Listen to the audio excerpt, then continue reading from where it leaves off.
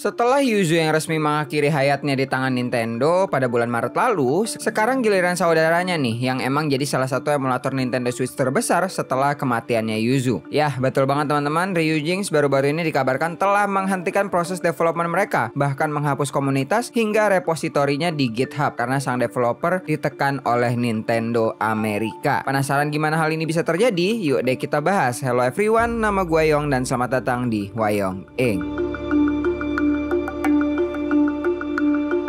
Jadi guys, kabar ini pertama kali datang dari salah satu anggota developer dari Ryujinx di dalam grup Discordnya mereka yang mengabarkan bahwa kepala tim developmentnya sudah secara resmi mendapatkan surat cinta dari Nintendo terkait tawaran untuk menyudahi development dari emulator dan menghapus segala repositori yang terkait. Melihat hal ini, dirinya tuh langsung ya menyampaikan rasa terima kasih kepada para backer dan juga komunitas gamer yang udah mendukung dan menggunakan emulatornya yang diikuti dengan bocoran resmi mengenai fitur-fitur baru yang tengah disiapkan oleh tim development untuk para penggunanya. Yang sayangnya kini udah nggak bisa lagi dilanjutkan dan hal ini pun telah menjadi official statement juga ya kalau kita lihat di laman Twitter atau X dari Ryujinx emulator itu sendiri. Ya, sebuah pengumuman yang cukup memukul ya tentunya untuk para pengguna setia Ryujinx. Mengingat untuk saat ini hanya tinggal Ryujinx setelah satu-satunya emulator Nintendo Switch yang paling proper untuk digunakan. Namun apa mau dikata, jika hukum telah berbicara, karena mau gimana pun mereka nggak akan bisa ngelawan Nintendo melihat track record dari Yuzu emulator di masa lampau. Ya, gue sangat paham paham sih guys, kalian mungkin bakal menjadi salah satu yang kesel ya terkait hal ini. Cuma perlu diingat kalau Nintendo emang punya hak di sana secara legal dan mau sampai kapan pun tim dev indie macam Ryujinx or even Yuzu nggak bakalan bisa ngelawan sang raksasa di video game itu. Ditambah hukum yang benar-benar melindungi emulator dan juga emulasi pun masih hanya terdiam di zona abu-abu. Sehingga masih banyak hal yang bisa dilakukan Nintendo untuk melancarkan jalannya dalam mematahkan space dari game preservation. Sayangnya detail terkait surat cinta dari Nintendo ini nggak disebar sama sekali ya oleh tim Ryujinx sehingga kita nggak bisa tahu tuh terkait apa sih yang jadi poin beratnya Nintendo dalam keinginannya menutup emulator satu ini. Yang mana beda kalau misalnya kita mau bandingin sama case Yuzu di bulan Maret lalu yang di mana Nintendo secara gamblang menuntut Yuzu emulator lengkap dengan poin-poin yang mereka tuntut. Cuma kalau spekulasi dari gue sendiri, yang bikin Ryujinx ini vulnerable di matanya Nintendo adalah mereka ngebuka Patreon berbayar untuk keberlangsungan dari tim development dan juga proses pengembangan Ryujinx emulator. Hingga mau gimana pun Ryujinx mengambil profit dari proyeknya tersebut. Dan seperti yang kalian lihat di layar, kalau secara perlahan website resmi Ryujinx sudah mulai dikuliti ya, dan kita pun udah nggak bisa ngedownload emulator itu lagi. Nah, kalau menurut kalian gimana nih soal kasus ini? Coba terus pendapat kalian lewat kolom komentar di bawah ya. So ya, makasih buat yang udah nonton sampai akhir. Jangan lupa buat like, share, dan juga subscribe buat dapetin konten kayak gini lagi ke depannya. Dan makasih juga buat para companions yang masih setia ngedukung gue sampai saat ini. Respect abis. So, gue rasa segitu dulu aja. Kita ketemu lagi di next video dan juga live stream. Bye-bye guys. Ciao.